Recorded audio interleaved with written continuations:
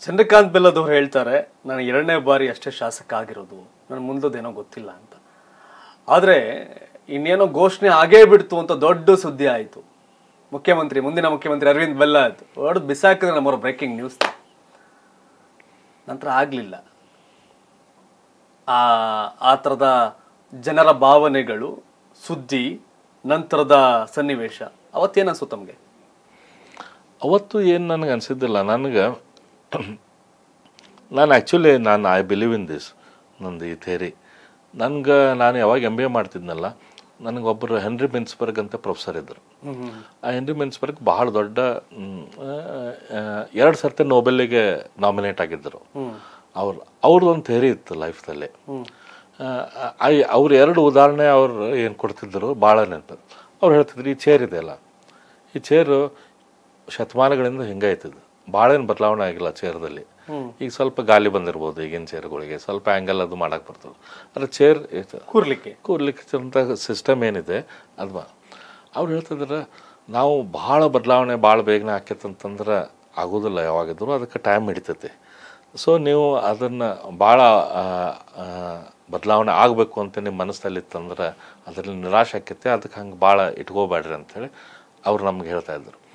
ಆಮೇಲೆ ಅವ್ರು ಇನ್ನೊಂದು ಹೇಳ್ತಿದ್ರು, ಜೀವನ ಅನ್ನೋದು it is not aim and shoot it is shoot and aim ಅಂತ ಹೇಳ್ತಾರೆ ಅಂದ್ರೆ ಅವರು ಅಂದ್ರೆ ನೀವು ಒಂದು ಸತಿ ಶೂಟ್ ಮಾಡ್ತೀರಿ, ಯಾವಾಗ ಗೊತ್ತಾಗ್ತೈತಿ? ಇದು ಸ್ವಲ್ಪ ಸರಿ ಮುಟ್ಟಿಲ್ಲ, ಇನ್ನೊಂದು ಸ್ವಲ್ಪ ಸುಧಾರಿಸ್ಕೊಂತ, ಇನ್ನೊಂದು ಸ್ವಲ್ಪ ಸುಧಾರಿಸ್ಕೊಂತ.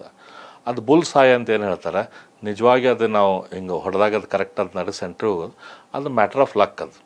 ಅದು ನಾವು ಸಿಗುತ್ತೆ ಇಲ್ಲ ಅಂತ. ಅದು ನಾವು ಮಾಡಿದಂಥ ಎಫರ್ಟು ಅಥವಾ ನಮ್ಮ ಕಲೆ, ನಮ್ಮ ಇದಕ್ಕೆ. ಹಂಗೆ ಅವ್ರು ಹೇಳ್ತಾ, ಇವತ್ತು ನಮ್ಮ ಮೋದಿಯವರು, ಪ್ರಧಾನಮಂತ್ರಿಗಳಾದರು, ಅವರು ಶುರು ಮಾಡಿದ್ದೇನು ಪ್ರಚಾರಕರಾಗಿ ಕೆಲಸ ಮಾಡಿದರು. ಅವ್ರು ಒಳ್ಳೆ ಪ್ರಚಾರಕರಾಗಿ ಕೆಲಸ ಮಾಡತ್ತಾರ ಅಂತ ಅನ್ಕೋ ಹೆಚ್ಚಿನ ಜವಾಬ್ದಾರಿ ಸಂಘದಲ್ಲಿ ಕೊಟ್ಟರು ಅದಾದಮೇಲೆ ಅವರಿಗೆ ನಮ್ಮ ಭಾರತೀಯ ಜನತಾ ಪಾರ್ಟಿಯ ಜನರಲ್ ಸೆಕ್ರೆಟರಿ ಮಾಡಿದರು ರಾಜ್ಯದ ಅದನ್ನು ಅಲ್ಲಿ ಒಳ್ಳೆ ಕೆಲಸ ಮಾಡತ್ತಾರ ಅಂತ ಅನ್ಕೊ ನ್ಯಾಷನಲ್ಲಿ ಜನರಲ್ ಸೆಕ್ರೆಟರಿ ಆದರು. ನ್ಯಾಷನಲ್ ಜನರಲ್ ಸೆಕ್ರೆಟರಿ ಅದಕ್ಕೂ ಕನ್ಯಾಕುಮಾರಿಯಿಂದ ಕಾಶ್ಮೀರ ತನಕ ಅವರು ಮುರಳಿ ಮನೋಹರ್ ಜೋಶಿ ಅವರು ಅಧ್ಯಕ್ಷರಿದ್ದರು. ಅವ್ರ ನೇತೃತ್ವದಲ್ಲಿ ಒಂದು ಪಾದಯಾತ್ರೆಯನ್ನು ಸಂಘಟಿಸಿದರು. ಅತ್ಯುತ್ತಮವಾಗಿ ಸಂಘಟನೆ ಮಾಡಿದರು. ಅದ್ರ ಮೂಲಕ ಇಡೀ ದೇಶದ ಜನರ ಕಣ್ಣಿಗೆ ಮೋದಿಯವರು ಕಂಡು ಬಂದರು. ಅದಾದಮೇಲೆ ಸಹ ಪಾರ್ಟಿ ಅವರಿಗೆ ಕರ್ನಾ ಗುಜರಾತ್ ರಾಜ್ಯದ ಮುಖ್ಯಮಂತ್ರಿ ಮಾಡಿತು ಆ ಕೆಲಸ ಅತ್ಯುತ್ತಮವಾಗಿ ಮುಖ್ಯಮಂತ್ರಿಯಾಗಿ ಮಾಡಿದರು. ಅವಾಗ ಜನರ ಮನಸ್ಸಲ್ಲಿ ಡಿಸೈಡ್ ಮಾಡಿದರೆ ಇವರು ನಮ್ಮ ಪ್ರಧಾನಮಂತ್ರಿ ಆಗ್ಬೇಕಂತೇಳಿ ಪ್ರಧಾನಮಂತ್ರಿ ಆದರು. ಅವ್ರು ಪ್ರಚಾರಕರಾಗಿ ಶುರು ಮಾಡಿದಾಗ ಯಾವಾಗೂ ನಾನು ಪ್ರಧಾನಮಂತ್ರಿ ಆಗಬೇಕಂತ ಅವ್ರು ವಿಚಾರ ಮಾಡಿದ್ದಿಲ್ಲ. ಪಾರ್ಟಿ ಜನರಲ್ ಸೆಕ್ರೆಟರಿ ಆದಾಗ ನಾ ಪ್ರಧಾನಮಂತ್ರಿ ಆಗಬೇಕಂತ ಅವ್ರು ವಿಚಾರ ಮಾಡ್ಕೊಳ್ತಾರೆ ಆ ಜವಾಬ್ದಾರಿ ಏನಿತ್ತು ಅದನ್ನು ಸರಿಯಾಗಿ ಮಾಡ್ಕೊತ ಹೋದರು. ಇವೆಂಚುಲಿ ಗೋಲ್ ಸಮೀಪ ಅವರು ಹೋದರು.